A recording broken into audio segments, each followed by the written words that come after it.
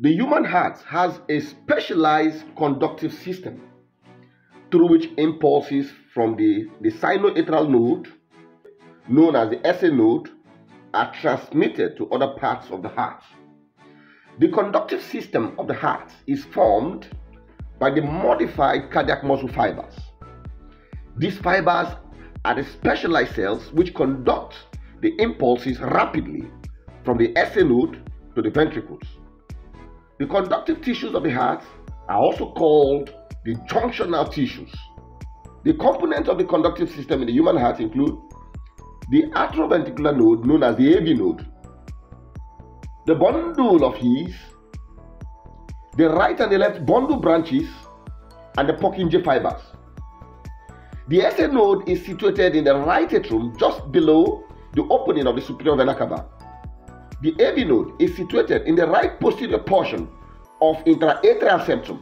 Impulses from the SA node are conducted throughout the right and left atria.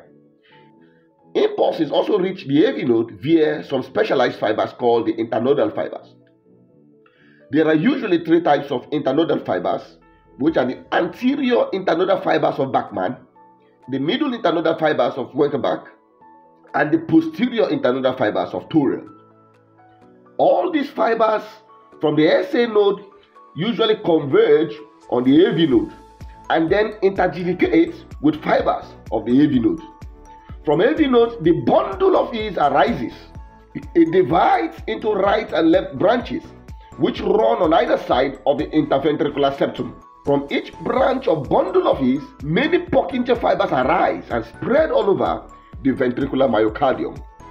Now, the sinus node usually initiates the cardiac impulses.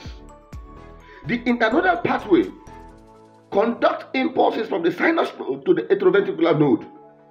The AV node usually delays impulses from the atria to the ventricle.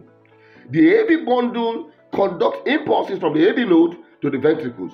The right and left bundle branches of the Purkinje fibers conduct impulses to all parts of the ventricles.